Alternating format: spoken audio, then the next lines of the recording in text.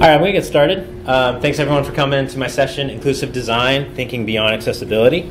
Uh, I'm really happy to be here at New Jersey camp. I was just telling some folk that I, I drove up from Boston last night, so it was a fun five and a half hour drive. I, uh, instead of doing playlists or you know Spotify or um, podcasts, I went to my basement and I pulled out my old book of CDs and I listened to albums the whole way through, and it was awesome. It was a good musical journey. So, um, thank you for coming to my session. I appreciate it. Uh, my name, I'm Mike Miles, and I'm from, as I just said, Boston, Massachusetts. Uh, I've been working with Drupal for almost a decade now. Uh, I do a lot. I've built modules, I maintain websites. Um, I'm the lead organizer for the Boston Drupal meetup and one of the organizers for the New England Drupal camp. So, towards the end of the year, if you want to come to New England to come to a really cool camp just like this one, highly recommend it. Um, and during the day, I am a technical solutions manager for a digital marketing agency, Genuine. So, Genuine, we're a full service digital marketing agency.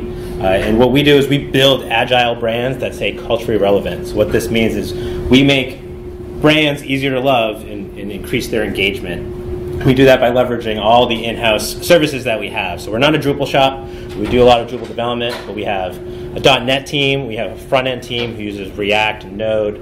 We also have a whole video production team and UX and digital strategy, just the gamut of anything that brands may need to do digitally, we can do. So for me, 99% of that is architecting Drupal websites or platforms and telling clients, this is not, I know what you want, but this is what you need.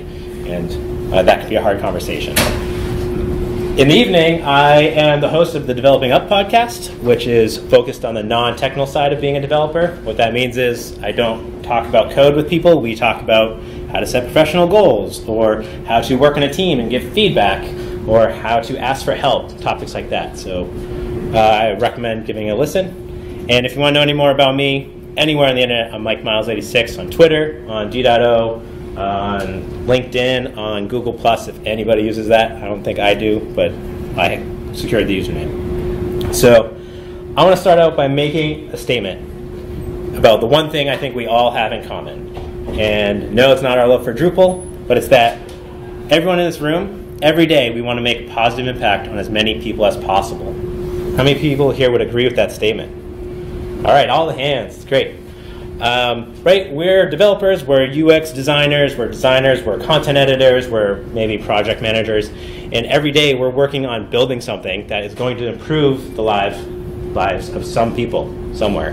Whether it's for our clients, it's for their users, it's to just make some positive impact. And this is important because inclusive design, the definition of it is planning considerations to ensure that a product, service, or environment is as usable by everyone to the greatest extent possible basically what we all just agreed we do every day. So we try to build things that are usable and make a positive impact.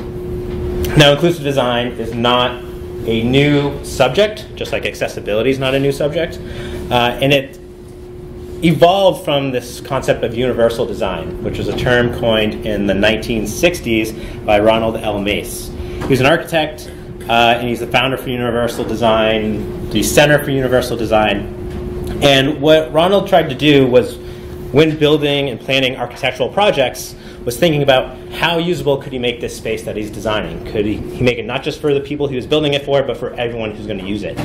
Um, in taking those different perspectives into his work and thinking of the differences people have and how he can incorporate that into what he did. And building on top of that was Selwyn Goldsmith, who is another architect. He actually wrote the book Designing for the Disabled and he coined the term barrier free design. And what Selwyn did was look at public space, mainly public spaces, and figure out how to remove barriers. And I'm talking about physical barriers, columns, curbs, stairs. How could those be removed to make it so more people could enjoy those spaces that were built? And then uh, Patricia Moore, who's also one of the sort of like founders of inclusive design, is famously known for dressing up as an elderly person and restricting her movement and experience in the world that way. So, as an industrial designer, she would do this. She would write reports on the trouble she had and ways to improve areas. Now, what's great about these and how this leads into what we do as developers is that they focused on improving areas for people with accessibility needs, But by doing so, they set this movement to make the world better for even more people. And I, I want to share an example of this, something that we all here benefit from because of, of what they led the charge on, and that's the sloped curb.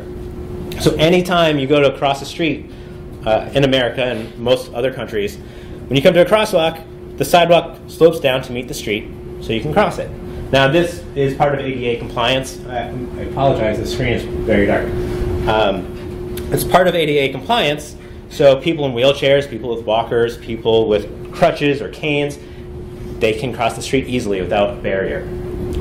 But universally, this improves the lives of everyone else. So parents with strollers can easily cross the street. Delivery people with hand trucks can easily move their goods. Distracted millennials or Generation Z people, um, if they're on their cell phones, they're not going to trip on the curb. They're able to cross the street.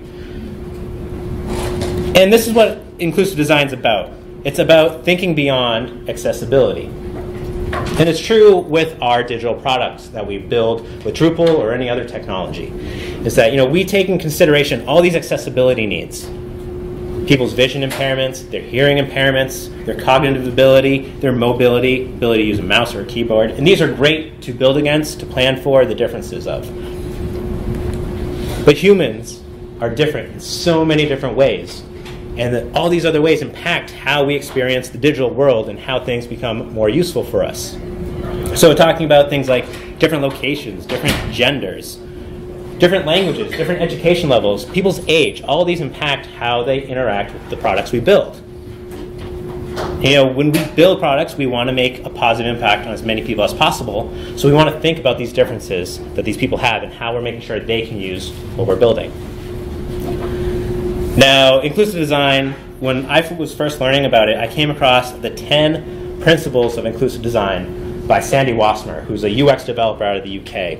And in 2010, she was asked by the UK government to collaborate and come up with 10 principles that they're going to use for all their digital properties. And this is what they came up with. I'm not going to go through them all, that would be a very exhaustive talk, and I don't think it would be beneficial for us at this time. But basically, they came up with these 10 ideas that every UK government website uses when they're building to make sure that it works for all their users, aka all their citizens. In 2010, they actually wrote these as part of their e-accessibility action plan. So now it's it's mandated into law. So I took these 10 ideas and I, it made me think about what I do in my day to day and how we can improve what we do every day when we build things. And I came up with what I like to call my four pillars of inclusive design. These are four ideas I believe everyone in this room and for the future, everyone listening to this recording uh, can follow to make our products better and more inclusive. So the ideas are one, no user is average. Every user deserves equal access. To provide, provide understandable content for every user. And every user deserves our trust and respect. I'm going to throw a copyright on there, but it's Creative Commons 4.0. Yay, open source. So feel free to copy these. Uh, so, what I want to do is I want to talk through these four pillars. I want to share why thinking this way helps us build better products and it benefits not only us, but it benefits our clients, it benefits the users, it benefits the world, and allows us to make a positive impact on as many people possible every day. So, no user is average. If we believe that no user is average, then we have to throw out this notion that we can assume who our users are, that we can just look at analytical data and make uh, an assumption that everyone falls into one bucket by, by just averaging all the results we have to throw out that idea and recognize that our users are very different. No one is the same. They all have intricacies that we have to identify and allow.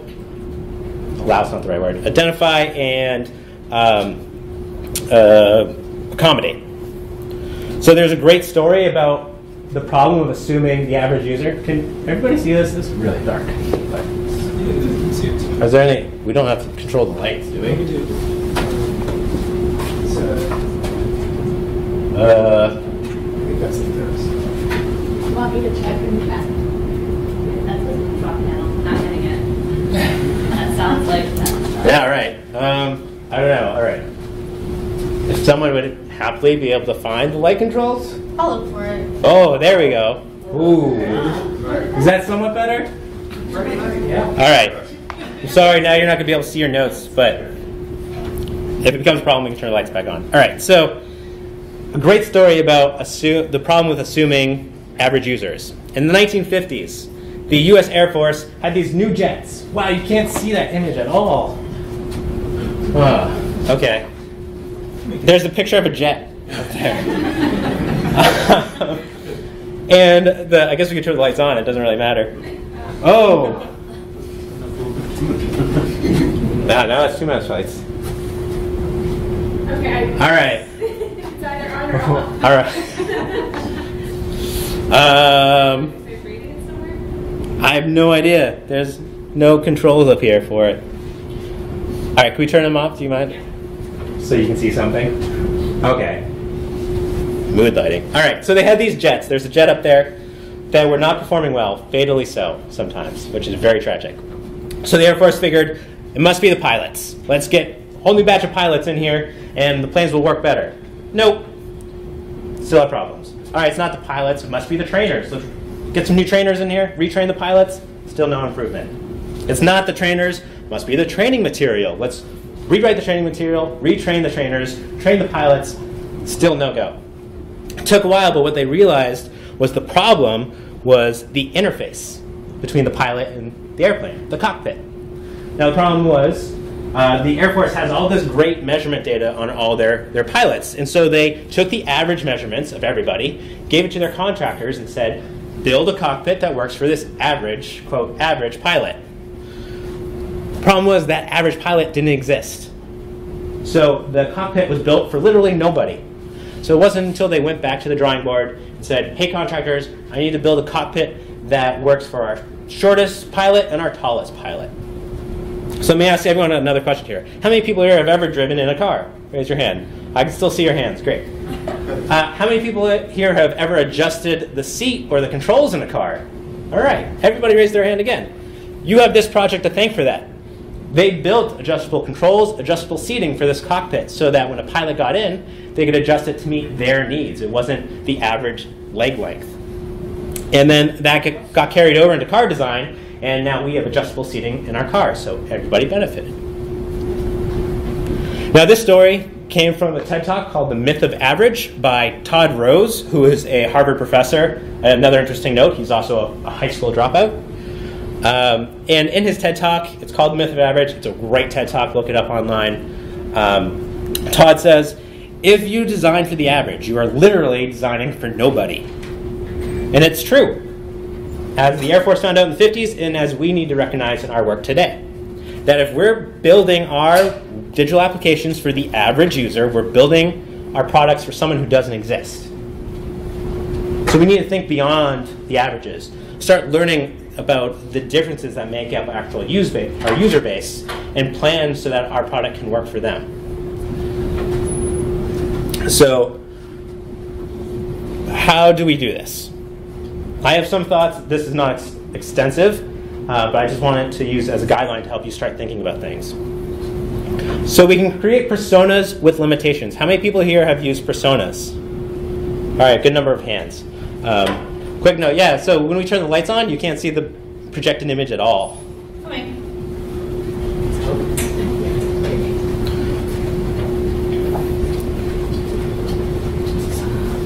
It's just not projecting brightly.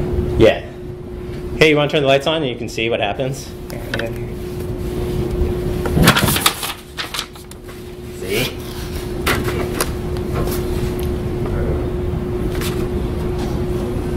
I'll keep going while you're messing with it. Please do. So we create personas with limitations. So a persona is when you put a name and a face and a story to a fake person that everybody on your team builds against.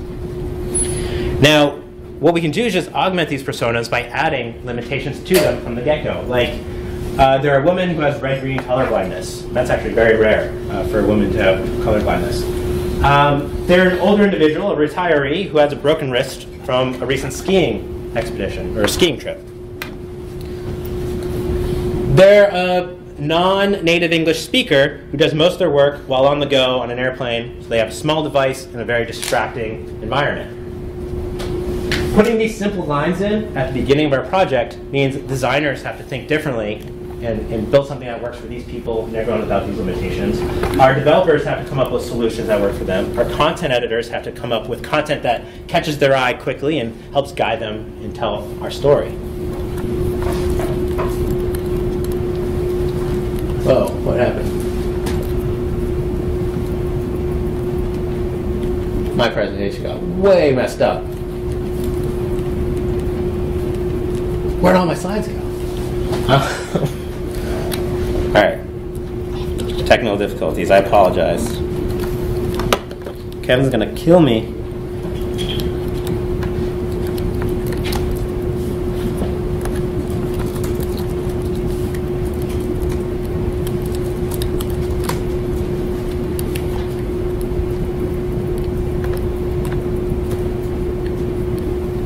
All right, let me just skip to where we were. Da, da, da, da, da. I just put up the online version of this, which is all annotated. So lucky you get to see all the annotations. It's still messed up. Ugh. All right. All right, no problem. Thank you very much. Ugh. All right. That's where that looks better there, huh? Maybe I just won't go full screen. All right, so if we believe that every user deserves equal access, we throw out this idea that we know exactly who our users are, and we have to understand that they have actual differences. Ugh. Sorry about this. Um, you know exactly what I did to screw it up. Can you all? Oh, look at you can see my code. I built this in a JavaScript framework, so. Uh, It's not Drupal. it is not in Drupal. I know. Bring on the public shaming. I, I deserve it. I know exactly what I did wrong, and I'm going to fix it just really quickly. The embarrassment is mine. All right. Grunt serve. I am not a front end developer. Um, okay, let's try this one more time. Uh, all right, we'll leave it this big because I can't see.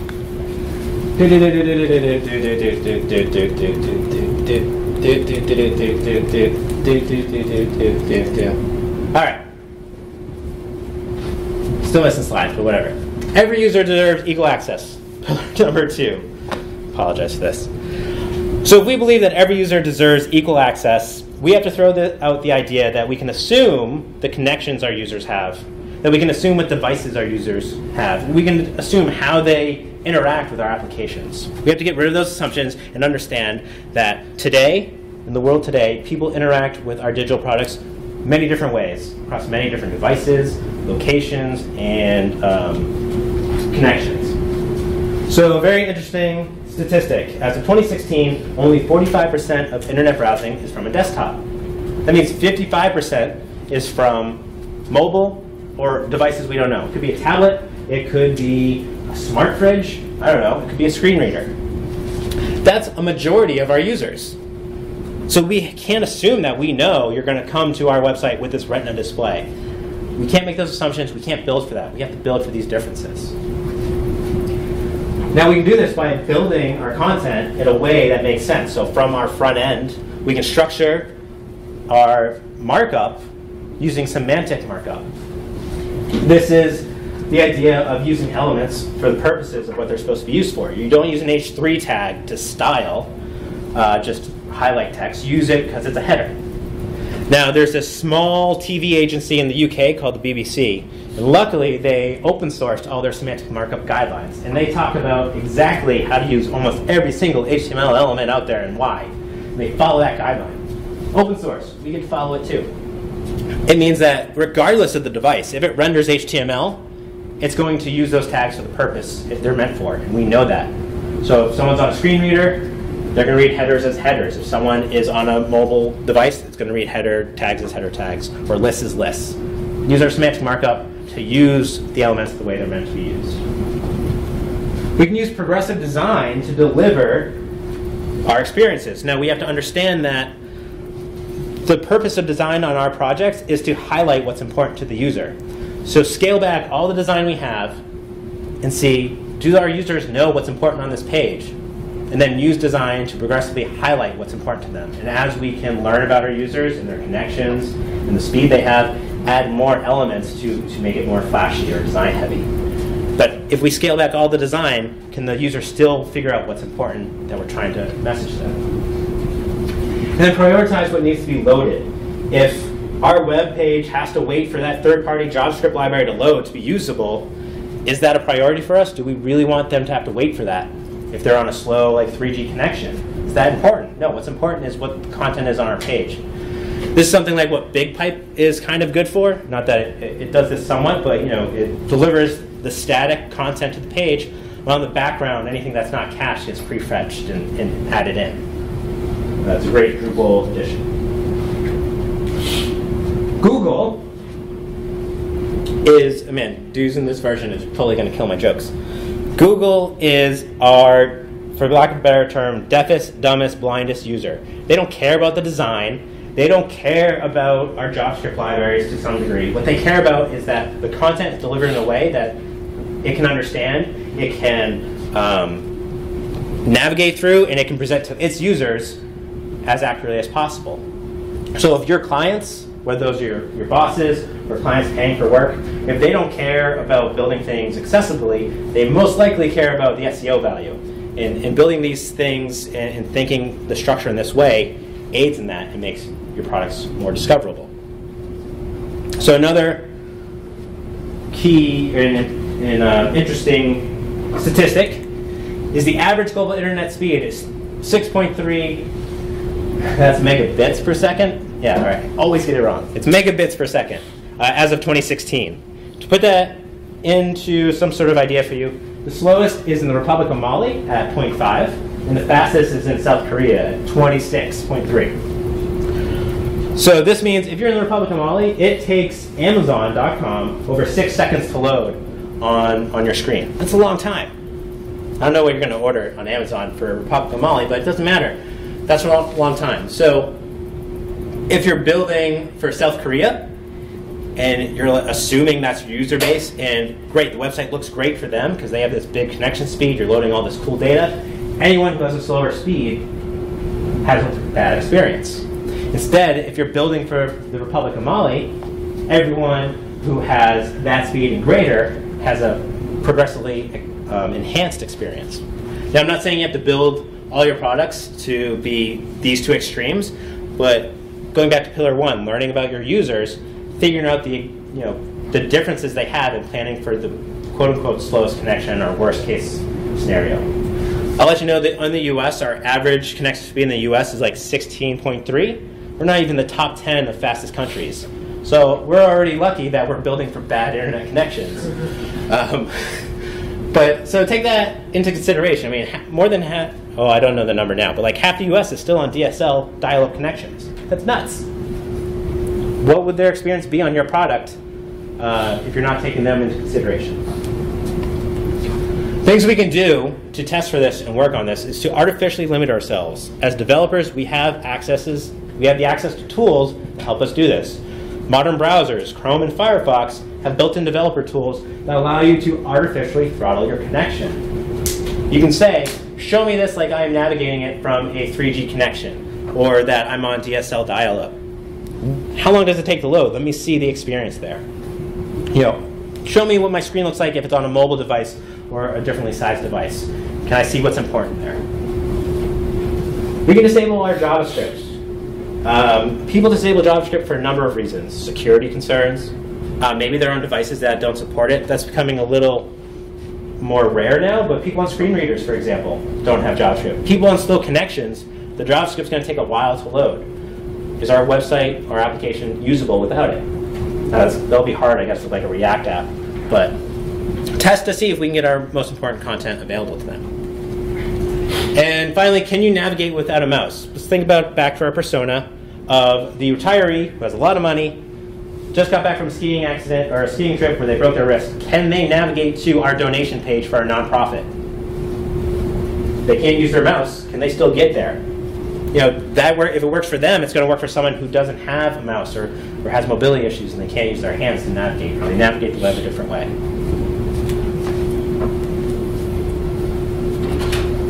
Pillar number three to provide understandable content to every user. Right, like all screwed up in my timing.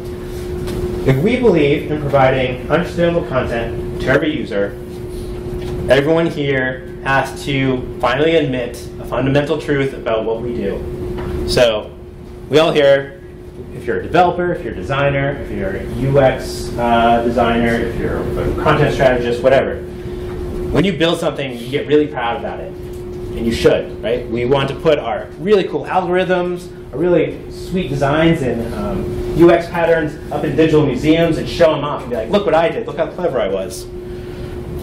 Our users don't care about any of that. All our users care about is the content. They use our products to get information. So we want to make sure the information we provide them is as understandable as possible to all our users or potential users. I apologize for how small that is. But the city of Boston in 2016 rebuilt their website. I'm happy to say Genuine played a big part in the architecture of this and the development. It was in Drupal 7. It was, we started before Drupal 8 was really ready to go. Um, but the old website, it, it was like built for the city employees. They defined the content structure. They defined what was written in the content. It was very jargony. If you wanted to find out about the street cleaning, you had to know what department handled that, what sub-department handled that, how to navigate through nested menus and pages and some pages to find it. That didn't help anybody. So when they were working on their redesign, they reached out and they learned about their actual users, their citizens. And they found what information they needed, what they understood, and they, they rewrote all their content and restructured their website in a, in a way that made sense for them. One of the, one of the um, quotes I love from this project was from the Chief Information Architecture in an interview with the Boston Globe, where they said, the website should act like a helpful human. This is one of the big differences between the old site and the new site. On the old site, it would feel like you were interacting with some sort of lawyer robot that was speaking to you in government speak. I love that phrase, lawyer robot, government speak. There's very seldom cases when we want our content to be perceived that way. We want our content to seem like it's written for humans by humans, because that's what it's for most of the time. So there's situations where you're writing content for computers. So when we're coming up with our content, we're helping our clients draft their content, we need to think about how we can, as clearly and directly, tell users about our message and, and what's important to them and what we want to share with them. We want to avoid jargon and use simple phrasing. Don't use 300 words when you can use three words. What is the simplest way to say something that will deliver the most impact? Pay attention to font, spacing, and line length. So, someone who may have a dyslexic disability, if they're reading serif fonts, the lines look like they, they run together. It's hard to understand the words. So use a sans serif font with a, a, letter spacing that, that is clear and a word spacing that is clear. And then line length. Line length is a hard one, but does everybody here know? Have you, have you ever heard of the F pattern? No, all right. So this is how people read content on the web. We read the first line, we read the second line, we read half of the third line, half of the fourth line, a quarter of the fifth line, we start to scan. It's an F pattern. The more content and content heavy copy you have, the more the higher chance that someone's going to miss the important thing that you want to tell them. So again, it's about as little as we have to put on the page to tell them what's important. Now, there's going to be cases, you know, like scientific journals where you have jargon and you have a lot of heavy content. Those come where they may, but for majority of people, just what do we have to say and how can we easily say it?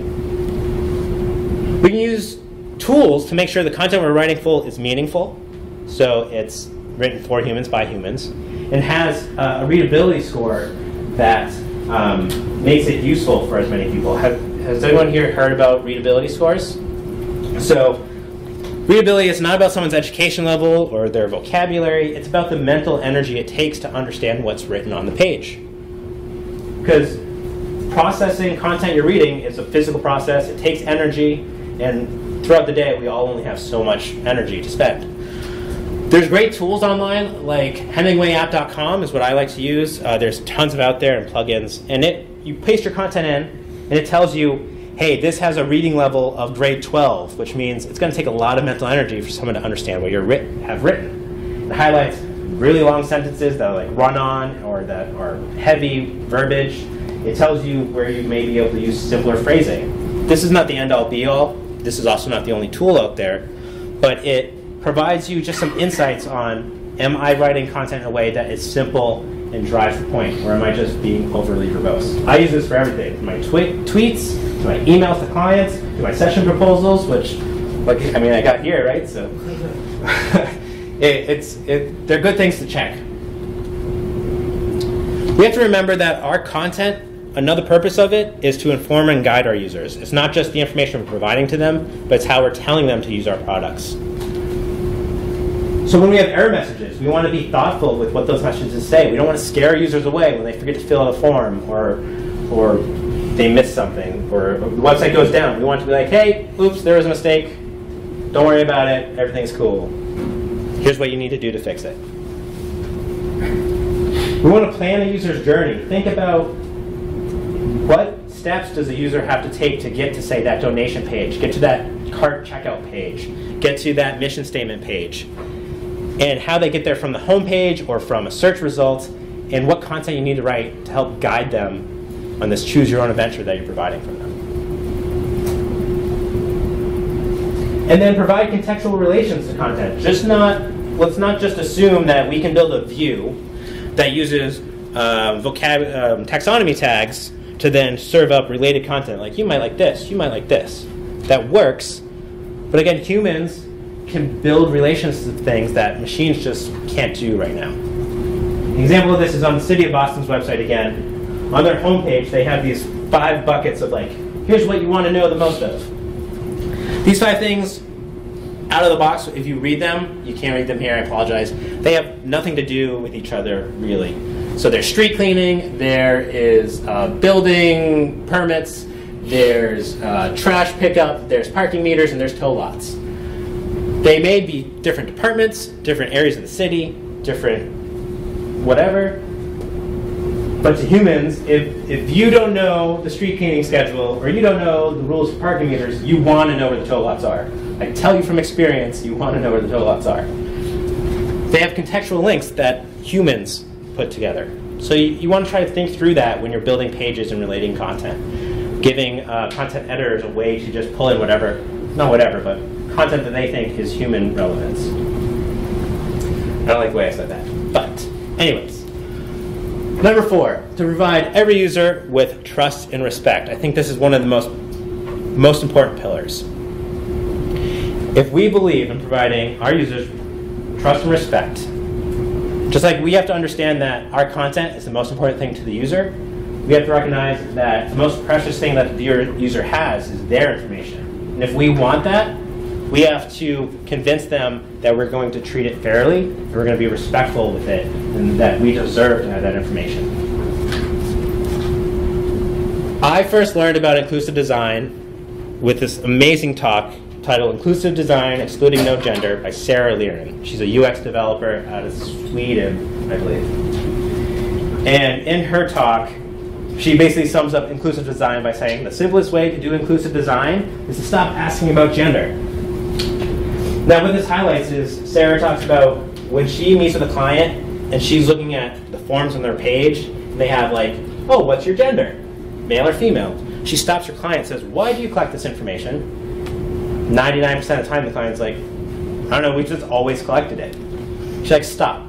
You're not using it. You're assuming how someone's going to answer. That's a barrier to potential users. That's a barrier to providing information to people. Get rid of that gender field, you're going to see uh, a, a, bigger increase in people submitting their information and, and, and providing you the info you want to reach more people. Drupal.org has a gender field.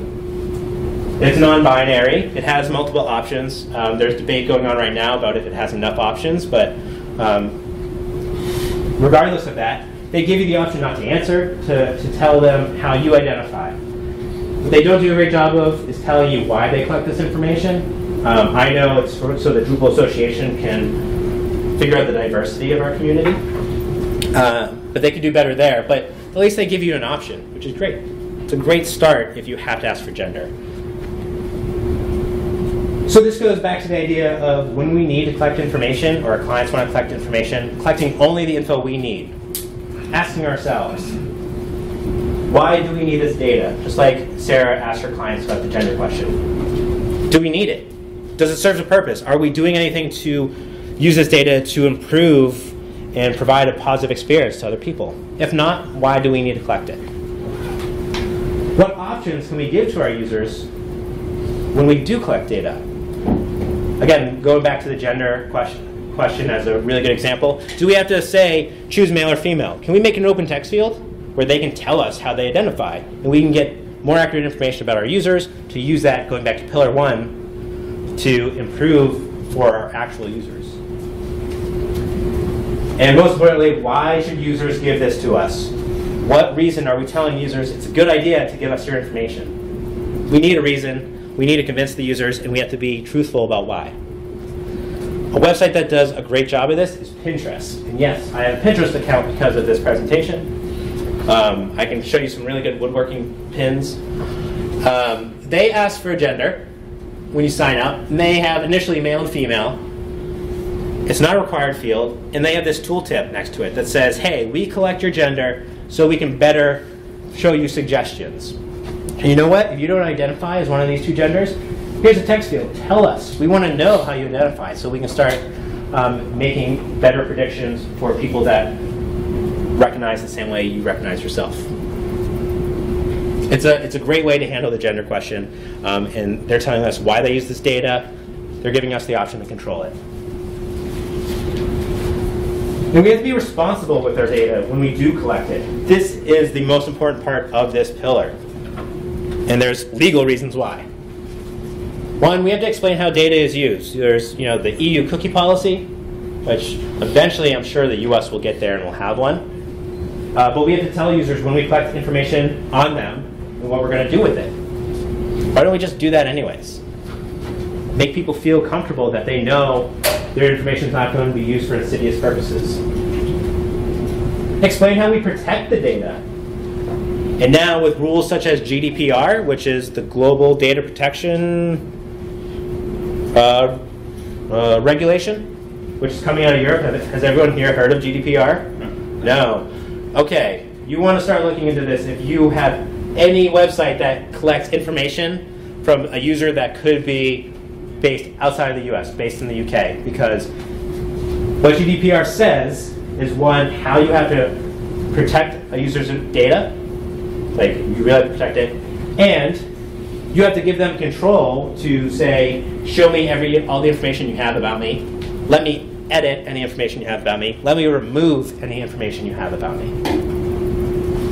Now, for, for, for some legacy clients, that's going to be a hard sell, but the, the cost of doing it, it way outweighs the price that they'll pay if they get fined, which is 4% of your global profit or like $24 million, whichever one is, whichever one is lower, no, higher. That's nuts. That's a lot of money for not giving users access to their data. Doing so builds trust to our users by saying, here's all the info I have about you, here's your profile, edit the fields so that you can tell me exactly who you are. Makes users feel like, oh, all right, I get to control this information because it is their information to control. We're just asking to see it. And we get better results on knowing our users, and we can reevaluate our products to build them more to meet them. So, despite the technical difficulties, those are my four pillars. Every user deserves, uh, no user is average. Every user deserves equal access to provide understandable content for every user, and every user deserves our trust and respect. If we can do these four things, or one of these four things, we can build products that make a positive impact on as many people as possible. So, how many people here think they could start doing one of these things in their project? Almost all the hands. All right. I convinced some of you. Um, thank you for raising your hands and, saying that. So that's all I have with this version of this deck. Um, yes, I said that. I do have resources though. I have this presentation available online, um, and there should be a tweet about it going out shortly with a link to it that now I have to fix since I had so much problems with it. Uh, I have these slides on SlideShare available, annotated, so you can review them. Uh, a link to the 10 Principles of Inclusive Design by um, Sandi Wassmer. I have the link to Todd Rose's talk on the myth of average. Again, I really recommend watching that talk. It's really eye-opening. Uh, a link to the BBC semantic guidelines for using semantic markup, and finally Sarah Lerén's talk on inclusive design, excluding no gender. Now, so I can collect information about my users on this presentation, and I don't have to assume the audience. I'd love feedback questions. Um, you can you can tell me now. You can tell me later. I'm happy to talk later about inclusive design or anything, web development or woodworking or whatever. Uh, so again, you find me online at mike MikeMiles86. And one more plug for my podcast is the next episode, which comes out on the 13th, so a week from Tuesday. Uh, we're actually talking about the importance of different perspectives and accessibility and diversity. I talked with um, uh, Carie Fisher from Hook 42 on it, so give it a listen when it comes out. And with that, uh, I'll take any questions after uh, pity applause for the technical issues. Any questions? Yeah. Uh, yeah, so so I s- something that's really really important for uh, ensuring an inclusive or accessible site is applying rigorous standards to all the content that gets pushed out, and that need always seems to sort of contrast with the desires of content creators who want more and more power to do more and more things. They want a WYSIWYG. They want to be able to rearrange blocks. Um, they want to meet some very specific esoteric design and visual goal that I know can never be uh, accessible. Uh, how, do you, how do you deal with that dissonance, that, that pressure to break your standards? So the question was, if I can rephrase it, was how do you break the like the stigma or the pre-existing standards that your your company may have or your client may have about the freedom to give editors to do whatever they want versus setting up something that's more accessible or more inclusive. Sure. I think it's um, it's a balancing act about educating um, and using metrics to find out who are we actually trying to reach. What do they understand? Let's let's do user um, interviews and using that data to inform how to build something following a, a, more approved process, a governance process. You can still give them those tools like a WYSIWYG. You can give them the ability to move blocks around or you know use panels, um, but making sure that they're conscious that they're not doing it just for what looks good for me. It's what looks good for everybody. So the only way to do that is through education, and and it's not about making a drastic change all at once. It's like making a little improvement each time. So even when you're building from the Drupal perspective, think about what limitations am I putting on my content editors, or where do I have to limit them? Let me talk to stakeholders and figure that out. So just, I say the way to go through it is an evolution process, one step at a time. That's the best I can say. I can also give you the scary answer to that too, uh, which, which is uh, more in terms of accessibility. But you can always tell people, like if you're, I guess this isn't your question at all. But if if clients say we don't want to build for inclusive design, we don't want to build for accessibility, you ask them, do you want to hire lawyers? Because lawyers cost more than developers. And the story comes from like Winn Dixie and Target, where Target in 2009 was sued by the uh, American Association for the Blind, I think it was, because none of their images had alt text. And they're like, nah, we're not going to do that, whatever. They got taken to court, they lost. And they had to not only pay the court fees, and not even had to do a court battle, but then they had to pay to have the alt all images have alt text and be required. So it's like, do you want to pay for that, or you want us just to pay us a little bit extra to add this feature onto it? So developers are cheaper than lawyers. Yes. Mr. Mike, when you were talking about kind of the attention span as someone goes line one, line two, Yep. which is F method? or- Uh, it's an, known as an F pattern because you read the whole line, then like half a line, half a line. Yeah. Um, So for subjects or pages requiring a little more historical context where the the matter's going to maybe by force be a little, you know, more dense, Yeah.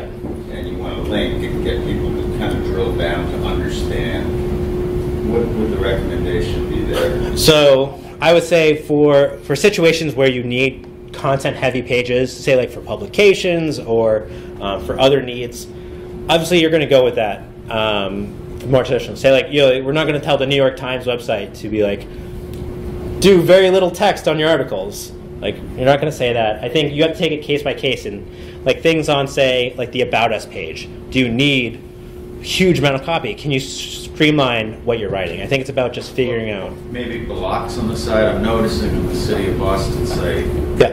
contact info, email. I mean, almost extracting that. Yeah, they extract it. I think it's part of your design, like space, clear spacing, clear identification of like breaking content up into sections instead of just like one big long runoff. Yeah, just like break it up. Think about if you're reading it, you're gonna start to, to glaze over, and so like how can you break it up, make it a little more engaging um, into the subsections so people can skim to the parts they want to know about, and then read those sections. I'm, I'm no expert. Anchors, I guess, too. Yeah, anchors. Yeah, summary at the beginning. I'm not an expert in content, Yeah. but um, I just try to think like, what would I want to see? Where do I start glazing over and not paying attention? So that's, that's a great question. Anything else? Great. I, I think I'm a little early. Again, I apologize for the technical difficulties. Thank you for staying with me, and I thought everyone was going to leave the room when the lights turned on. So, thank you. Um, all right, I'll be around the rest of the camp. Uh, if you want to applaud again, you can.